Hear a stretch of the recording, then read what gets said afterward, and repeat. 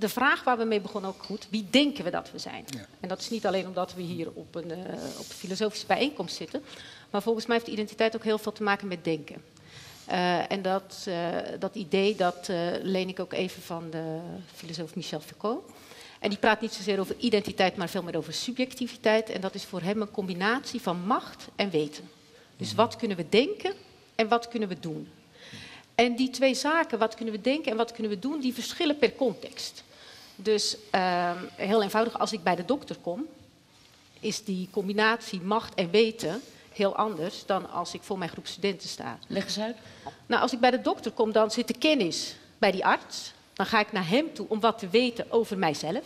Hij kan daar wat over vertellen. Als ik voor mijn groep studenten sta of voor mijn kinderen, dan hoop ik dat ik degene ben die kennis overdraagt en daar wat mee kan leren. Dus wie ik ben, is ook afhankelijk van de context. En daarom stellen we ons in dit geval ook voor als onze beroepsgroep, omdat dat hier ter zake doet. Andere dingen doen er eigenlijk niet zo heel veel toe.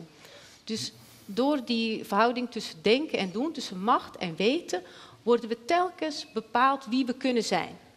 Maar dan heeft het dus ook te maken, Ad, met, laten we zeggen, gebruiken. Ja, in zekere zin. Wat, wat natuurlijk mooi naar voren komt, is dat de, de manier waarop je je presenteert, hè, je zelfbeeld naar buiten. Ja. Ja, dat, de Grieken hebben daar een mooi woord voor, de persona, dat is eigenlijk ook het masker. Hè. Dus, dus, tegelijkertijd, dat beschermt je ook op een bepaalde manier. Je kan zeggen, nou ja, ik ben hoogleraar. Hè. Dus geef je meteen, om het Liesbeth te spreken, geef je dat ook een bepaalde status, hè, een positie. En dat heeft natuurlijk alles te maken met maatschappelijke verhoudingen. dus dat, dat uh, de, de arts niet zomaar als een willekeurig individu tevoorschijn komt, maar in zijn hoedanigheid als arts